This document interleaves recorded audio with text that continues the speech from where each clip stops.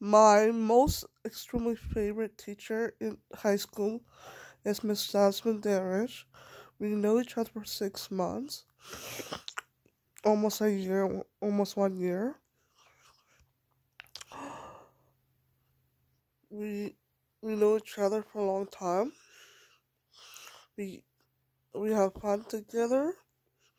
We have great moments. We like working each other as a student and a teacher.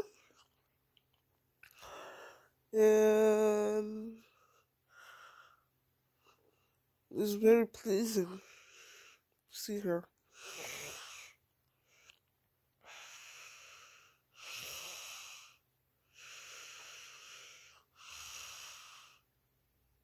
So this is my most extremely favorite teacher.